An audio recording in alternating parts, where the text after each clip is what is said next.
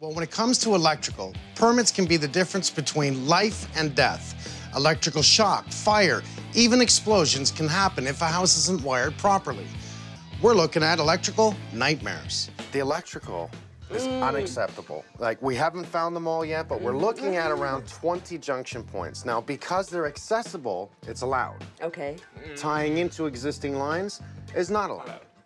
It appears that's what they've done everywhere here. Okay. This here is a complete live line. Is it okay? really? This one here. This one here is live.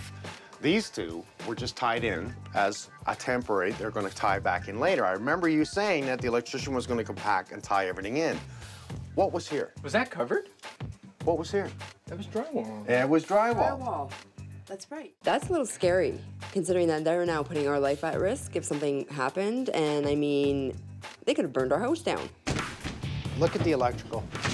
Junction point, junction point, that's two. Junction point, that's three.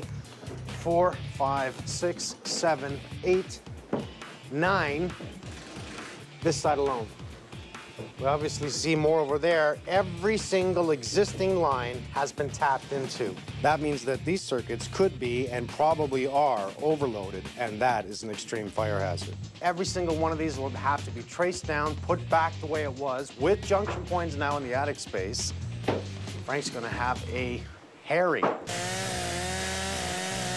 You're gonna love the way they did the pot lights in the ceiling down here. We had uh, we had some proper pot lights with housing, and then the other pot lights, no housing. There's only two with housing, so we had all the insulation in with retrofits. It clearly says it right on the retrofit pot light that within three inches of insulation, don't use it. Well, that was Clearly says it. piled right over it. Yeah, well, nice little fire hazard. They had uh, receptacles coming off of the, the lighting circuit, which is uh, 100% incorrect. Uh, they need to be arc fault protected since it's going to be used as a bedroom. So we're just going to be pulling out whatever we have and just rerunning it brand new. So you have to wonder one, what's behind the walls? Two, was the electrical work done by a licensed electrician? How about three, did they have a permit? Before you buy a house, get it inspected. Have someone inspect the electrical and give you an idea of past problems and potential future concerns. In this case, Lisa actually rented out her home to someone that she thought was good people. I got a phone call from my son, and uh, he said they were using the house for a marijuana grow op. I've read a lot about it, but never have I ever seen the damage that's left behind. Look how neat this is. All on timers, everything's scheduled to go on and off when they wanted to. More lines run. Look at this. Oh, they have a sub panel there. Okay. Electrical nightmare. Foundations drilling in, tapping into electrical. Here's where they tapped in. Look at this. They cored an eight inch hole. Missed on the first one, came back up, hit the second one. And how did they tap? Oh, they tapped in right there. Are you kidding me? That, I don't believe that. That's just pure raw power. I'm surprised they didn't get killed. Now, what a lot of people don't know is that depending how the bills were set up on this home, if the bills were set up under the homeowner's name, their charge may end up being between thirty to forty thousand dollars. What? For I kid you not, for the stolen power. You're kidding. It's like a fine? It all depends because someone's going to have to pay for the power that, that's been stolen. This is like a hundred thousand dollar repair plus fines of thirty, forty thousand. My God, and that's just the beginning. I haven't even gone through the house yet. I'm really working my way up. Wish I had better news. Uh. Hydro's losing a ton of money due to grow ops. A lot, and it, and we have no real way of knowing exactly how much because there's so many out there that we don't know because of this situation that we've got right here is there's no way to detect it. In this case, we saw seven 60 amp breakers on a 200 amp panel. That would be a lot of power they'd be using, wouldn't it? Yeah, they could be using anywhere from uh, 100 kilowatt hours a day to uh, 700 kilowatt hours a day in a, in a place like this. Um, normal home uses 45 and it's like this area. Wow, I had no idea it was this bad. No idea at all. Two out of every three houses that are used as marijuana grow ops have hydro diversions on them. So that's costing everybody money because the power is essentially stolen from the hydro grid.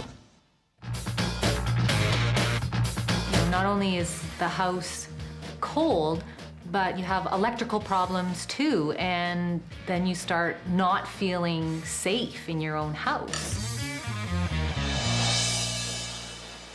What's wrong with the electrical? We've identified that this is a circuit that's got like 19 devices on it or something like that. There was too many things on this one circuit.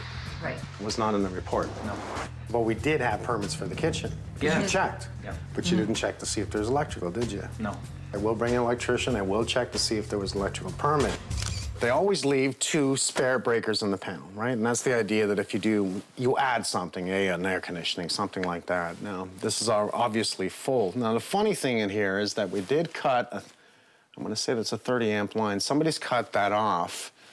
I don't know where it leads to. We'll find out. I'll bring in Frank, my electrician. He's going to take a look at the place and see what not only the other contractor has done, but possibly what his Neil has done here. And when I talked to Neil, he talked about uh, the dishwasher was hooked up to other lines. Now, it shouldn't be. Uh, the receptacles on the counter are supposed to be on their own. It should have been from the old kitchen. So where'd those lines go is my point. They all had their own lines before. Where the hell did they go? Things like your dishwasher, things like your counter plug need their own breaker. They do have a heavier load. So what they've done here is simply done the addition and tapped off whatever circuit was available. So every time they want to use the coffee maker and the dishwasher at the same time, they trip the breaker downstairs. Well, what we're doing here is uh, we're pulling a line for the, uh, one's gonna be for the counter plug, and the other one's gonna be for the dishwasher. How many, how much more, Dave? That's all? We still have to pull uh, one more for the uh, other counter plug and for the microwave hood fan.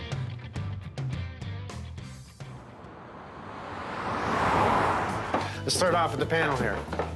Joe, he really separated everything and had to run a couple of new lines and, and made sure that the dishwasher's on its own, the fridge is on its own, the receptacles were proper all the way. Um, he also itemized everything, all the breakers. We want to know what they are. And the best thing I love about this, there's two of them. One being that we have a total surge protector on your house.